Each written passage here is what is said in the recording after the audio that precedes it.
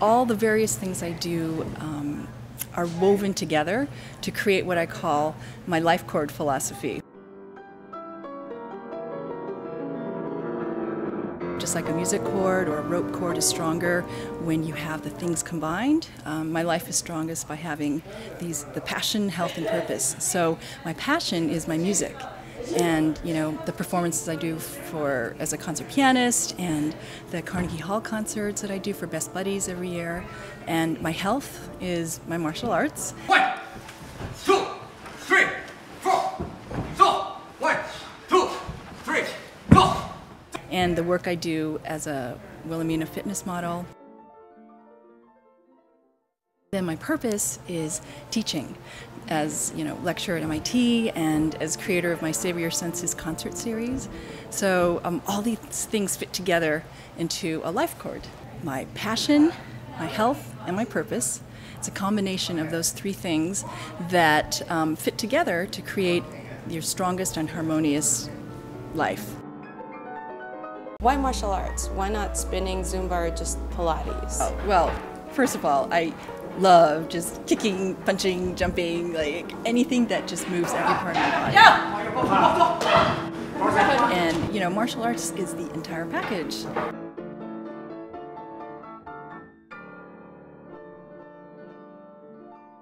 Because not only does it work your muscles and your tendons, um, it's also an art form, it's also self defense, um, it's self expression, it's a philosophy that helps strengthen and clarify your mind. Within martial arts, like all the different styles are so totally different.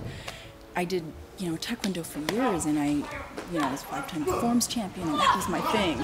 And then I switched to Shaolin Kung Fu a few years ago, and I'm just, I'm a beginner, but that's what I love, and that's what makes it so exhilarating because it's challenging, it's hard. What do you think about the excuse that people use? I just don't have time to work out. I definitely have a busy schedule, but I really make an effort to do my best to train martial arts two or three times a week. You know, you got to prioritize and do strategic time management. So that means you have to shave five minutes of time here, five minutes of there, and you gather it up, and you put that chunk of time, and you just go and do it. Doing jumping jacks and push-ups or whatever for 30 minutes, hey, that's better than nothing. And you figure it takes more time being sick so you might as well make the time to stay healthy. What motivates you? What inspires you? You're so busy. I mean, what keeps you going? It, it just all stems from, you know, doing what I love.